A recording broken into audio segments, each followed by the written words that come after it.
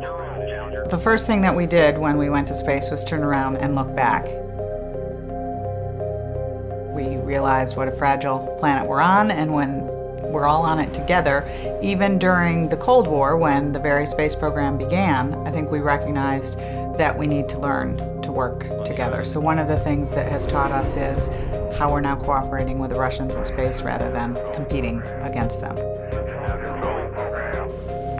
What if free people could live secure in the knowledge that their security did not rest upon the threat of instant U.S. retaliation to deter a Soviet attack?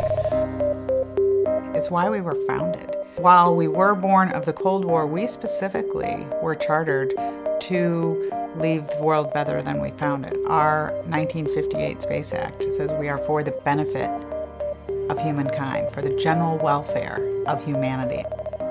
I'm so optimistic about the future. I know that we are struggling with a lot of things here on planet Earth, but there's a whole generation that cannot wait to make their difference in a positive way.